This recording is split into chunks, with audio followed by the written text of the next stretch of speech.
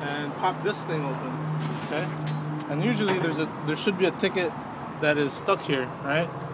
So what you want to do first is turn turn it off. Come here. Around, around. There's a Yes. so turn that off. Okay? And then use this. To squeeze the ticket out. Yeah. See how it's this? Okay, right? Yeah.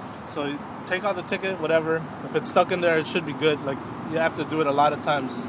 Just be patient. Turn it back on. Okay. And then put this back in. All right. And then Okay. to test it out, it should be good, but to test it out, come back here. There's a switch here. Put it lost. Okay. Put this back closed. I never know there's a switch there. Yeah. So test it out like three, four times. If the cut's okay and it's spinning out tickets okay.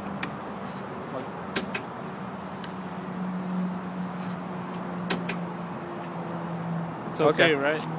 So spitting out tickets okay. You gotta put it back up Okay. and it's good.